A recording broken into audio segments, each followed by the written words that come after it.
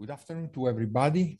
My presentation will try to give some hints and reflection on the need to redefine the human being Earth system nexus in order to contribute to that human change necessary to address global problems.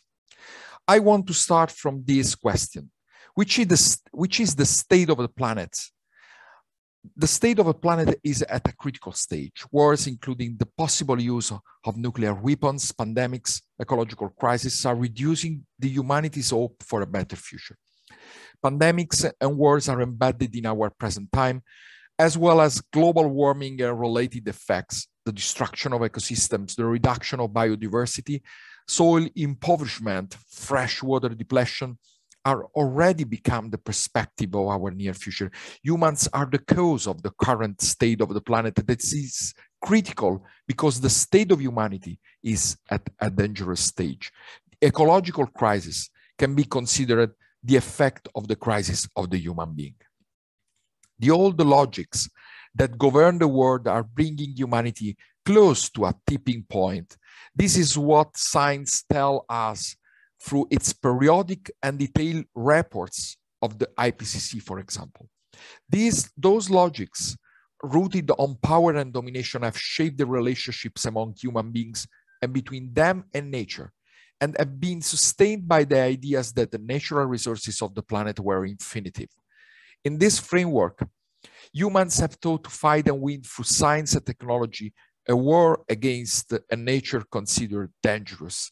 Science and technology have been used as tools to escape from problems by creating a digital world in which humans were able to defeat death, illness, fear, frustration by making possible what would be impossible in real life. The ecological crisis is a planetary crisis.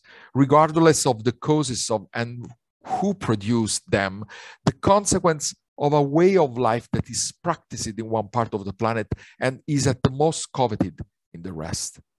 Human development has created well-being in a large part of the world, but in the remaining part, even greater, inequalities have increased, the environment has suffered unsustainable human pressure. It is time that humans radically change the logic with which they manage their vital niche, nonetheless the paradigm shift necessary to address the complexity of the global challenges at stake will have to affect all peoples of the earth. It is necessary and urgent to rethink human relationships and build a new vision of the human earth system nexus. This will imply to reconsider our societies, their joints, their productive, legislative, and political structures, the educational programs, our lifestyles, also in the light of the great contribution that geosciences give to human culture and knowledge.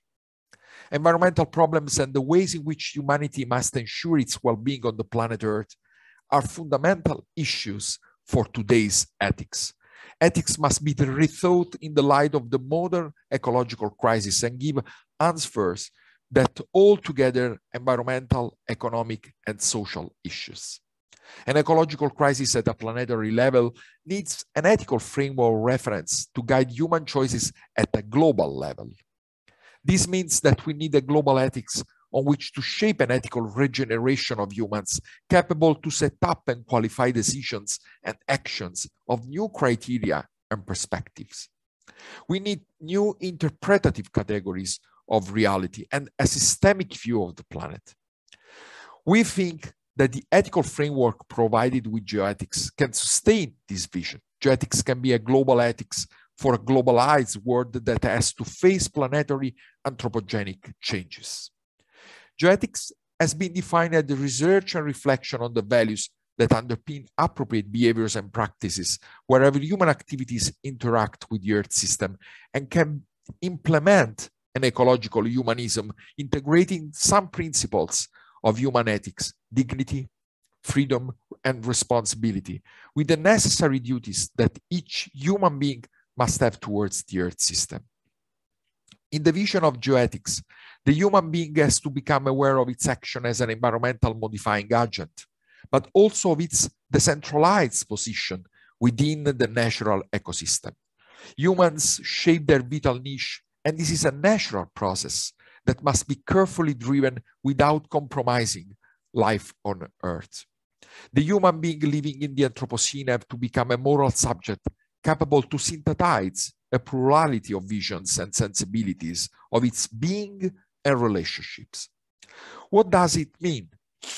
Anthropocentrism was considered the main cause of the current ecological crisis, and it has been connoted by a strong, strongly negative selfish meaning.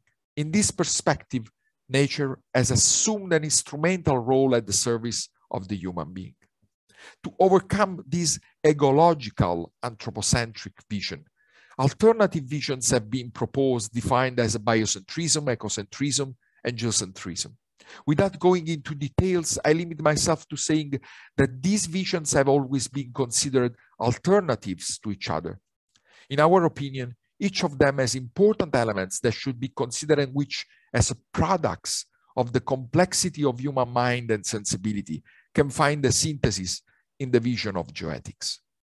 In this perspective, the human being is intrinsically and perceptively anthropocentric, as it cannot escape its specific nature, the forms of its way of thinking, the biological, emotional, spiritual, and rational complexity through which it constructs its vision of the world on the basis of its species peculiarities.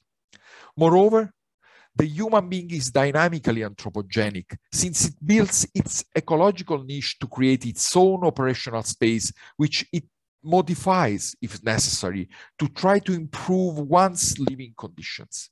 Those modifications must consider the planetary boundaries and ecological tipping points. But the human being should become relationally biocentric in the recognition of the value of life of any living being and ecocentric in the attitude of respect towards the earth system in its entirety.